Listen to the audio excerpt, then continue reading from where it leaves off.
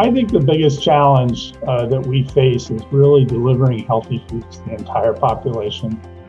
I think we've seen a lot of challenges during COVID and people not being able to afford foods at all, let alone healthy food. And when you look at a lot of the dietary recommendations that we have, these are quite elite is that they uh, include things like seafood and fresh fruits and vegetables, which are just not affordable by most of the population.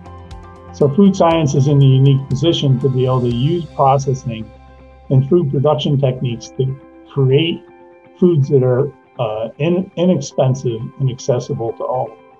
But the challenge we have is to get the consumers to accept these foods. Uh, and that is really comes down to making these foods affordable, uh, accessible, and acceptable. And if we can make healthy foods meet all those goals, then we can do great things to improve the health of our population.